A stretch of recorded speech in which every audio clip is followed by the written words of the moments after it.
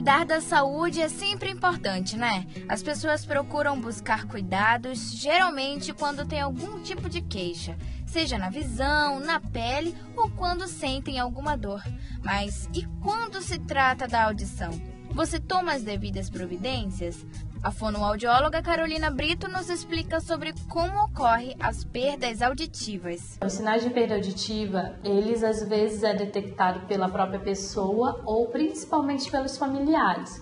Você vê as questões de ouvir TV em volume alto, algumas questões também de que a pessoa conversa com você e você fica, ah, o que? Não estou entendendo, entendeu? Então, alguns sinais não é a própria pessoa que percebe, mas os próprios familiares que relatam pra gente. Eu estou sentindo que o meu pai, minha mãe, ou meu irmão, ou alguém da minha família está com essa dificuldade de ouvir, de compreender a fala. Então, geralmente, eles procuram um otorrino, depois disso são feitos exames e eles voltam aqui com a gente, né? Se tiver indicação ou não de aparelho auditivo. Os aparelhos auditivos existem desde o ano de 1898, que desde a sua invenção, os aparelhos têm apresentado diversos aspectos e formas. Hoje, têm a capacidade de se ajustar continuamente ao ambiente onde se encontra para melhorar a qualidade de som e reduzir o ruído de fundo. Os aparelhos auditivos, antigamente, eles eram analógicos, né? Eram aparelhos auditivos mais ruidosos, aparelhos auditivos onde só, a gente só conseguia aumentar e diminuir som, não tinha como trabalhar tantas, tanto frequência sonora como tem hoje em dia. Hoje em dia a gente se lida melhor com a tecnologia. As perdas auditivas não são características de idosos já existem formas de diagnosticar precocemente essa perda em bebês. E com os jovens também não é diferente. Com o uso do fone de ouvido em volumes elevados, acaba prejudicando a saúde do ouvido. Com o passar do tempo e toda essa evolução dos aparelhos auditivos, o nosso público não é só idoso. Por quê? Porque como jovens também a gente tem essa questão auditiva, questão de fone de ouvido, de se expor a ruídos intensos, próximo a trio elétrico, ações muito altas. Então, isso que ocorre. A gente acaba pensando que não, que só com o passar do tempo que a audição mesmo vai perdendo, mas a gente também já teve alguns casos de pessoas bem jovens que por conta de alguma eventualidade, de trauma acústico, acabou também tendo que usar aparelho antes do, do tempo determinado. Existem graus na perda auditiva que podem ser detectados por meio do exame próprio para isso, a audiometria.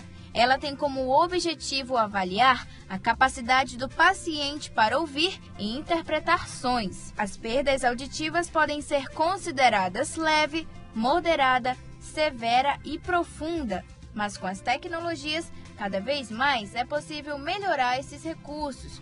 Hoje em dia, já é possível que o paciente mude a frequência por um acessório mobile. Na hora que o paciente recebe uma ligação, ele vai atender no acessório.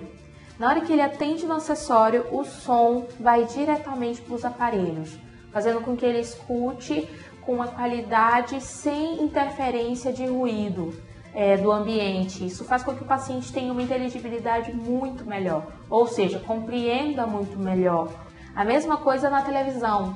O que a gente vê é que muitos pacientes, quando usam apenas o aparelho, eles escutam muito melhor na TV, porque o aparelho tem essa função, mas com o acessório, esse, essa melhora de, de compreender aumenta muito, consideravelmente, porque esse som vem via wireless, não vem via é, o ambiente, não vem só a onda sonora, vem a onda sonora via wireless.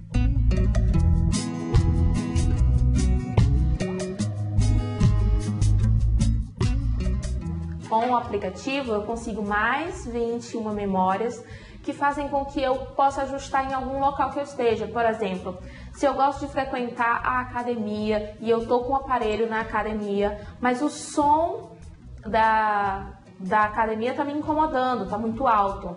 Eu vou no meu aplicativo, diminuo o som e faço com que ele fique mais confortável. E toda vez que eu chegar na minha academia, o meu aparelho vai detectar via GPS que eu estou na academia e vai fazer com que o meu aparelho, né, já se adapte àquele ambiente. Então, via GPS ele traz todo o ajuste que eu já fiz um tempo atrás, ou seja, eu não vou ficar precisando fazer várias vezes o mesmo ajuste. Seu Francisco usa aparelho auditivo há 32 anos e faz uma comparação dos aparelhos antigos para os atuais. Porque os primeiros eram de volume. A gente tinha que mexer nele para ver o volume e aquilo tudo. Esse não, esse já é pelo computador, é tipo um automático. Então você escuta nele, é uma coisa muito maravilhosa. Olha, porque tem gente que é orgulhoso e não gosta de usar, porque tem vergonha de usar ele. Então, todos nós temos que ter um pouco de paciência, temos que ter um pouco de humildade. Agora, é uma coisa muito importante esses aparelhos que eu peço. Quem usar, tenha paciência que vai se habitar, vai ter uma, uma melhoria muito grande para a sua vida continuar do que dessa coisa. E fica o alerta: deve-se ter cuidado com a audição desde cedo. Então, muito cuidado com o ouvido de vocês. Eu sei que música é bom, eu amo música, todos nós gostamos de ouvir uma música, mas vamos evitar usar os fones de ouvido num volume muito alto. Procure colocar num volume mais baixo, procure evitar usar muito o dia todo. Use um período do dia, use um, um volume mais baixo para que você possa ouvir muito mais música. Porque se você tem uma perda auditiva, a dificuldade para ouvir música é muito maior. Então vamos cuidar do nosso ouvido para a gente ouvir música o resto da nossa vida. Música